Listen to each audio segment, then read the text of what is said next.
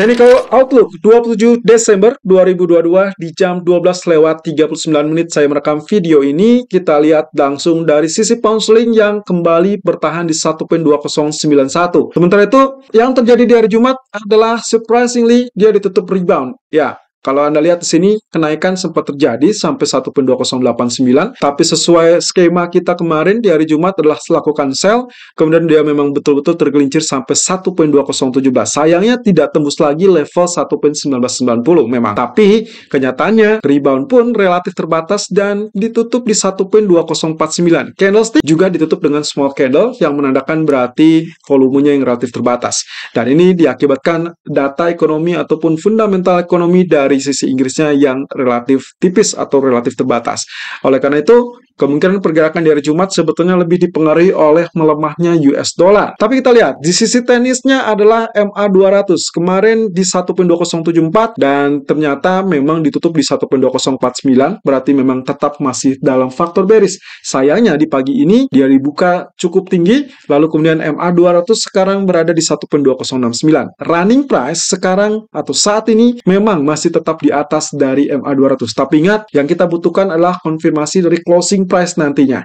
Oleh karena itu, jika memang hari ini masih tetap naik, tapi lalu kemudian berakhir dengan penutupan di bawah MA200, maka keesokan hari kita akan kembali dalam sisi bearish yang lebih meyakinkan. Tapi sebaliknya, kalau memang ternyata kenaikan, kenaikan, kenaikan yang terjadi, lalu kemudian diakhiri dengan penutupan juga di atas MA200 1.2069, well, besok kemungkinan kita akan dapatkan pola kenaikan untuk pound konseling. Nah, di sisi lain, inverted hammer memang seharusnya menunjukkan kenaikan.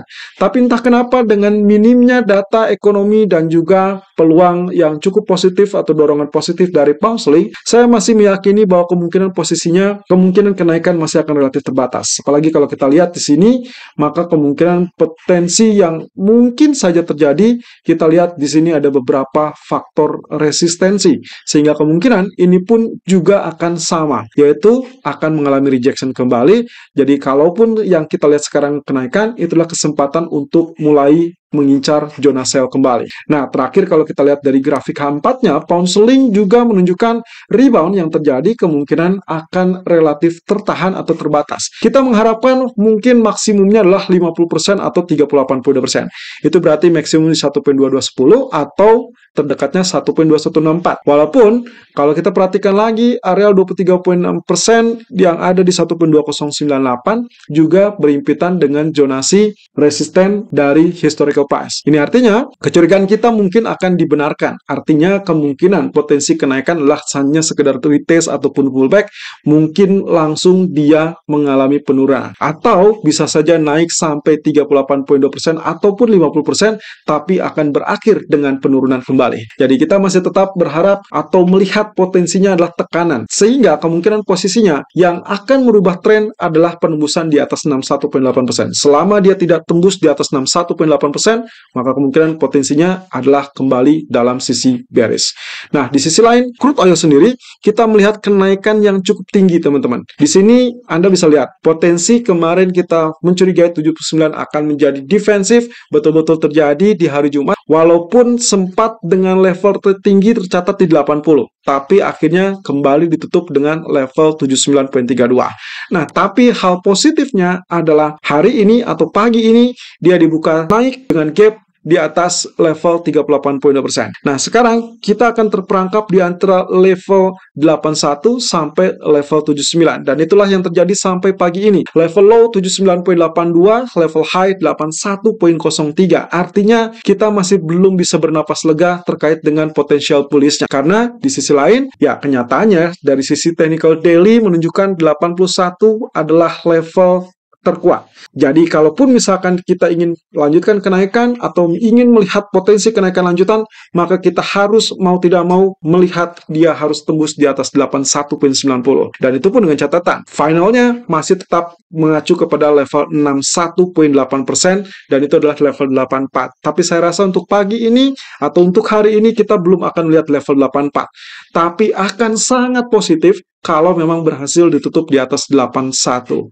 Ya, itu adalah catatan yang kita miliki kalau kita melihat dari Fibonacci retracement dari grafik daily chart. Di sisi lain, grafik keempat sudah tembus di atas 0%. Berarti saatnya saya menarik Fibonacci expansion yang saya lakukan dari level bottomnya 73, kemudian puncaknya 79.85.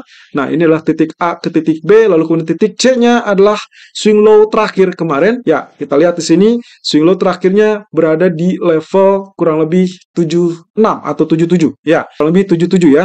Ini adalah 7701 dan berarti 61.8% sampai saat ini yang menahan kenaikan tersebut sangat wajar 8105 dan persis high-nya 8103 beda tipis.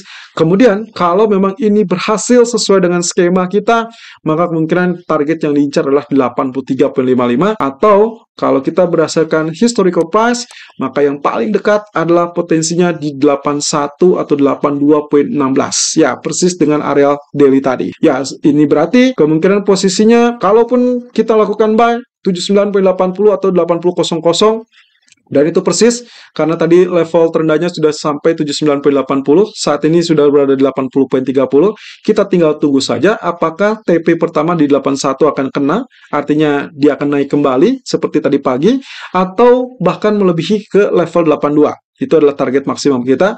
Tapi stop loss kita, kita antisipasi di 78.80. So, begitu dia turun di bawah area 0% kembali, itulah tanda-tanda bahwa dia akan kembali terjebak dalam fase penurunan. Kemudian, kalau kita perhatikan dari sisi grafik gold, grafik H1 menunjukkan yang sama dengan grafik H4 karena kita menggunakan Fibonacci retracement yang sama pula, kita tarik dari top 1819.60 dan juga bottom 1784. Jadi saya akan ambil salah satu perwakilannya, saya patokannya tetap ke dalam 61.8%. Artinya, sampai saat ini kenaikan di 1806.20 itu masih tetap tanda tanya. Apakah dia akan tetap berlanjut mempertahankan posisinya di atas 1806 tersebut apa tidak? Kalau ya, minimum dua candle berikutnya. Artinya dua candle berikutnya harus tetap berada di atas. Kalau ini yang terjadi, maka kita akan dapatkan kenaikan lanjutan at least 18.11 atau yang paling jauh adalah 18.19.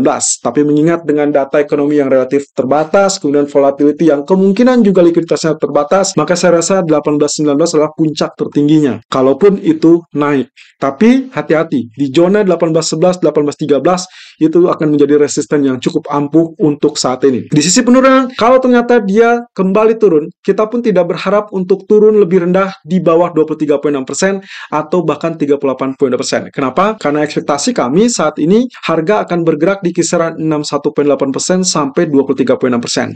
Kalaupun misalkan terjadi tekanan, maka yang harus diwaspadai adalah penekanan di bawah 0%. Karena itu akan menandakan potensi penurunan yang akan lebih lanjut menekan di bawah hal tersebut. Nah, kenapa kami mengincar zona buy untuk saat ini? Ada satu kejadian, ada satu pola yang cukup menarik di grafik daily, yaitu tentang candlestick candlestick. Anda perhatikan, posisinya seperti ini teman-teman. Kalau Anda perhatikan di grafik 5 dan 6 Desember, ya dengan candlestick bearish, long bearish candle atau long black candle, kemudian ditemani dengan tanggal 6-nya adalah inverted hammer. Apa yang terjadi berikutnya adalah bullish candle. Dan itu diawali dengan penurunan atau reversal setelah long bullish candle, kemudian ada hanging man di situ. Itulah pola yang kita lihat dari awal Desember, 5, 6, dan akhirnya ditutup dengan 7 Desember konfirmasi positif atau bullish. Nah, perhatikan yang terjadi di periode yang sekarang. Diawali dengan kenaikan long bullish candle, kemudian ada shooting star di situ, berbalik tekanan turun di hari Kamis, ya kita anggap saja inilah long black candle, kemudian ternyata di hari Jumat ditutup dengan inverted hammer. Ya, ini berarti apa yang terjadi sampai saat ini kurang lebih sama. Nah, ini yang menandakan atau yang membuat saya mencurigai ada kemungkinan kita akan mendapatkan pola candle tanggal 7 itu adalah copy paste untuk hari ini. Artinya, kecenderungan untuk kenaikan akan relatif terjadi. Jadi kemungkinan kalau kita perhatikan dari situ akan relatif dikuasai atau didominasi oleh bullish. Dan itu berarti 61.8% memungkinkan untuk tembus itu berarti Anda sinyal untuk langsung follow buy. Kalau memang dia berhasil, maka kemungkinan target berdekat adalah 18.11 atau 18.13 dan target terjauh adalah 18.19. Tapi kalau pola bullishnya betul-betul mujarab seperti apa yang terjadi tanggal 7 Desember, maka kita akan dapatkan kenaikan lanjutan. Itu persis dengan apa yang juga ditunjukkan di grafik H4.